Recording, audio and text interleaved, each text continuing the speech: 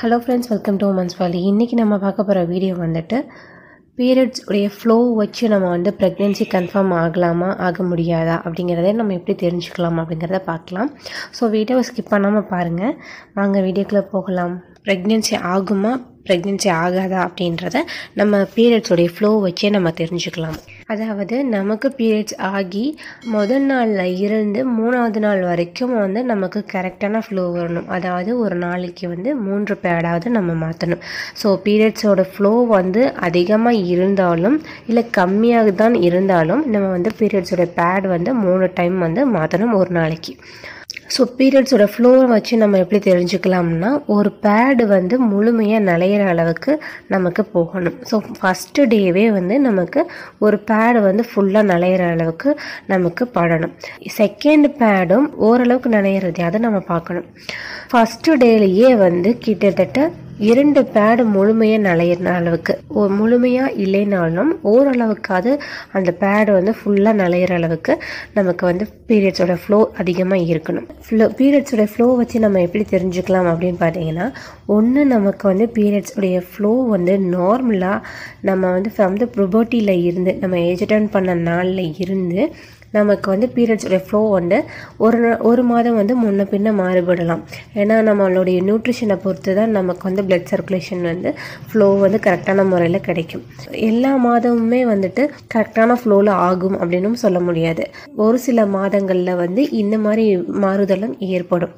ஆனாலும் பீரியட்ஸ் ஆகி முதல் இரண்டு நாட்களுக்கு வந்து கண்டிப்பாக வந்து எல்லா பெண்களுக்குமே பீரியட்ஸோட ஃப்ளோ வந்து கிட்டத்தட்ட இரண்டு பேடு அளவுக்கு நனையிற அளவுக்கு நமக்கு வந்து அந்த ஃப்ளோ அதிகமாக இருக்கணும். ஒருவேளை உங்களுக்கு வந்து லைட்டான ப்ளீடிங்கோ இல்லை ஸ்பாட்டிங்ஸ் மாதிரி தான் இருக்குது யூரின் போனால் மட்டும்தான் வந்து உங்களுக்கு அந்த பிளட்டோட ஃப்ளோ வந்து கிடைக்கிது.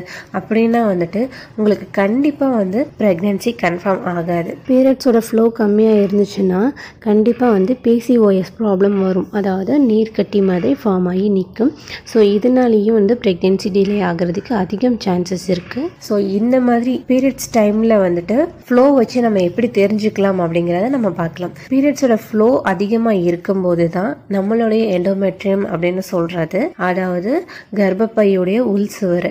அந்த உள் சுவற்றில் வந்து ஒரு ஒரு லேயர் மாதிரி ஃபார்ம் ஆகும். ஸோ அந்த ஒரு பேபி வந்து ஸ்டே பண்ணுறதுக்காக ஒரு பெட் மாதிரி தயாரிக்கும். அதாவது பீரியட்ஸோடைய ஃப்ளோ வந்து ரொம்ப குறைவாக இருக்குது அப்படின்னா தின்னான எண்டோமெட்ரியமாக இருக்குது அப்படின்றத அறிகுறி. எண்டோமெட்ரியம் வந்து ரொம்பவே வந்து சன்னமான முறையில் அதாவது பேபி வந்து ஸ்டே பண்ணுற அளவுக்கு அந்த எண்டோமெட்ரியம் வந்து ஸ்ட்ராங் இல்லாமல் வலு இல்லாமல் இருக்குது அப்படிங்கிறது. இது மூலமாக நமக்கு வந்து வெளிப்படுத்தும். ஸோ பேபி வந்து ஸ்டே பண்ணுற அளவுக்கு வந்து அந்த எண்டோமெட்ரியமில் வந்து திக்னஸ் வந்து ரொம்பவே குறைவாக இருக்குது அப்படிங்கிறது தான் நமக்கு வெளிப்படுத்துது. கரு வந்து தங்குமா அப்படிங்கிறத வந்து பீரியட்ஸுடைய ஃப்ளோ வச்சு நம்ம வந்து தெரிஞ்சுக்கலாம். கண்டிப்பாக வந்து நமக்கு வந்து பீரியட்ஸோட ஃப்ளோ வந்து அதிகமாக இருக்கணும். ஸோ ஒரு பேடு நனையிற அளவுக்காவது ஓரளவுக்கு இரண்டு பேடுகளாவது நமக்கு நனையணும். மூன்று பேடு பேடு நாலு பேடு அளவுக்காவது ஒரு நாளைக்கு மாற்றணும் ஸோ இந்த மாதிரி இருந்துச்சு அப்படின்னாவே வந்து நமக்கு வந்து கரு தங்குறதுக்கான ஒரு இடம் வந்து ஃபார்ம் ஆகும் அப்படிங்கிறத நம்ம வந்து தெரிஞ்சுக்கலாம். இந்த டைமில் வந்து உங்களுக்கு பீரியட்ஸோட ஃப்ளோ கரெக்டான முறையில் இருந்துச்சுன்னா அது வந்து நெக்ஸ்ட் டைமில் வந்துட்டு உங்களுக்கு கரு தங்கும் அப்படிங்கிறத வந்து இது ஒரு சிம்டம்ஸ் மாதிரி நம்ம வந்து தெரிஞ்சுக்கலாம். ப்ரெக்னென்சிக்கு ட்ரை பண்ணுறவங்க இருந்தீங்கன்னா கண்டிப்பாக வந்து பீரியட்ஸ் ஆகிடுச்சுனாவே ரொம்ப கஷ்டமாக இருக்கும்.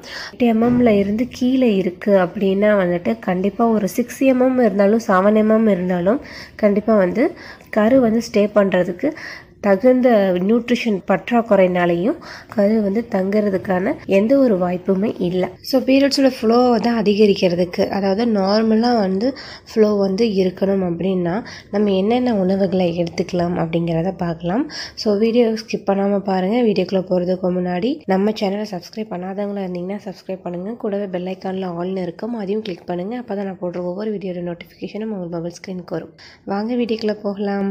பீரியட்ஸோட ஃப்ளோ வந்து அதிகரிக்க அதிகரிக்கிறதுக்கு வந்து நம்ம என்ன உணவை எடுத்துக்கணும் அப்படின்னு பார்த்தீங்கன்னா எல்லாருக்குமே தெரியும் கருப்பு எள் ஸோ எள்ளு எள்ளு உருண்டை எள்ளு மிட்டாய் என்ன இருக்கும்? ஸோ இந்த எள்ளு மிட்டாய் வந்து நம்ம பீரியட்ஸ் ஆகிறதுக்கு அதாவது நமக்கு பீரியட்ஸ் சிம்டம்ஸ் வச்சு நம்ம தெரிஞ்சுக்கலாம் நம்ம பீரியட்ஸ் தான் ஆக போகுதுன்னு.